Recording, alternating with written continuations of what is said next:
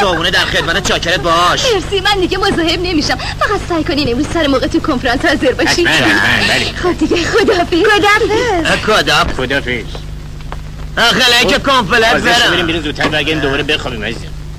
ده. چی؟ ما اینا می‌خوام بریم تو کنفرانس. کنفرانس چی چیه جانم؟ یه دفعه بهت گفتم ما آمدیم از مزایای کنفرانس استفاده بکنیم. حیف نیست دختر به خوشگلی رو بزنیم بریم تو کنفرانس. شکوه، شما به. خاطر من کنفرانس نره؟ من به خاطر تو حاضرم مثلا لای کنفرانس بگیرم بخوابم. آیا ایست گلبورا. گل برو قربان. نه منه.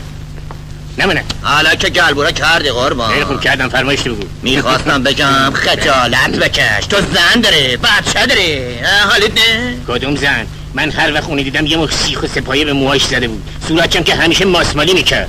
زن نگاه کن نگاه کن. این هلو میمونه که درسته می‌خواد بری تو گلو. بهت ما تو جلوت گیر نکنم بز بکنیم. هسته داره. احمد جان. جان احمد. تو منو دوست داشت هر کاری گفت انجام داد برای من احمد؟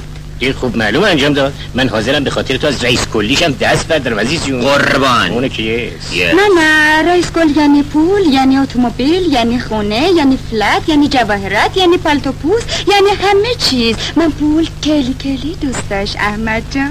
پول دوست چه بستر غم است. قربان.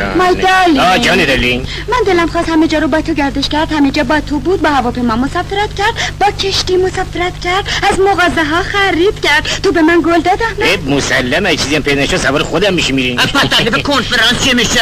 باز گفت کنفرانس.